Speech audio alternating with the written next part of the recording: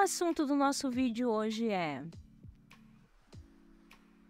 escola inclusiva ou escola bilíngue. Qual a melhor?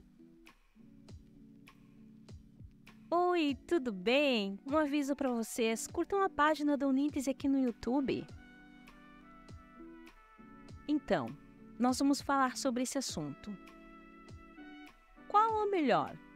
A escola inclusiva ou a escola bilíngue? Hum?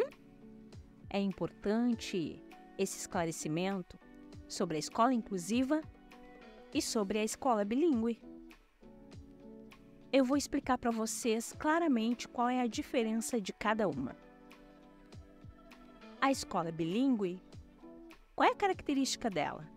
Ela tem toda uma estrutura pronta na língua de sinais, tudo dentro dela. Por exemplo, a escola bilíngue, todos os professores sabem Libras, são fluentes na língua de sinais e os intérpretes também.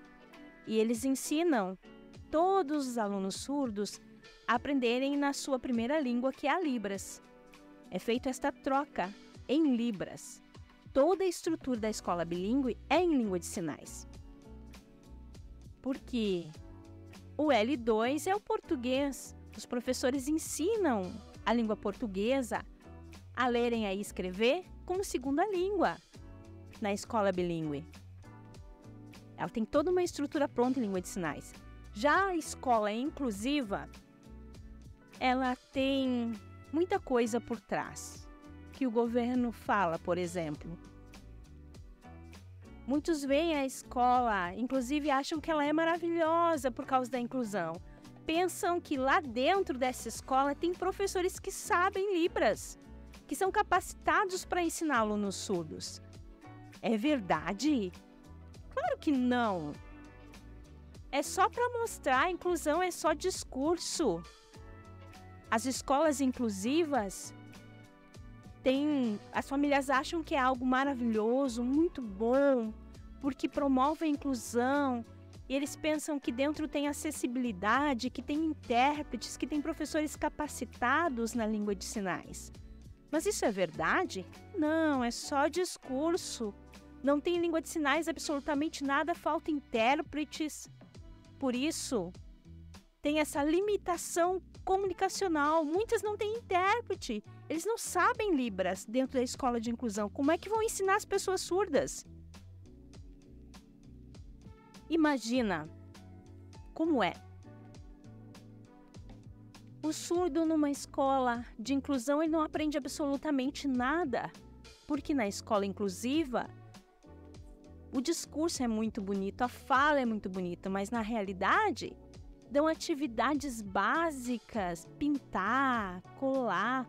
O professor fica ali falando e entrega uma atividade para o aluno surdo que não aprende absolutamente nada.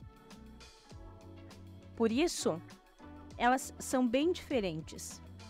Mas o que, que é importante? A gente continuar a nossa luta de conquista por uma educação de uma escola bilíngue porque a escola bilíngue é muito importante, porque respeita a primeira língua e tem o português como segunda língua. Por isso, vocês precisam saber que as crianças surdas precisam buscar a escola bilíngue. É importante que as famílias pesquisem uma escola bilíngue para que as crianças consigam aprender. A escola de inclusão e a escola bilíngue são bem diferentes. Por isso é importante que vocês pesquisem e vejam se dentro da escola de inclusão tem acessibilidade ou a escola bilíngue é melhor. Obviamente que a bilíngue é melhor. Eu sempre recomendo e falo que a escola bilíngue é bem melhor. Espero que vocês tenham gostado desse vídeo.